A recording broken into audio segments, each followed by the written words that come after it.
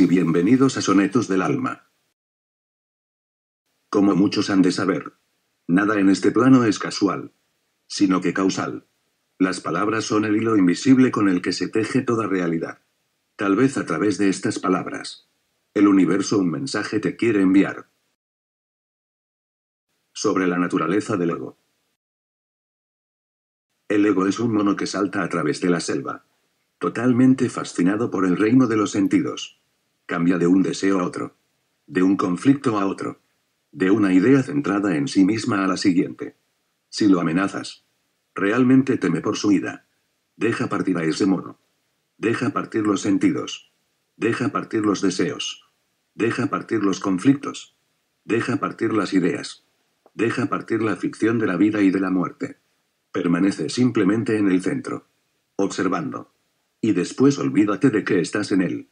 Mantén tu mente libre de divisiones y distinciones. Cuando tu mente es simple y está desapegada y silenciosa. Todas las cosas pueden existir en armonía y puedes empezar a percibir la verdad sutil. El comprender este conocimiento te lleva a cambiar tu realidad.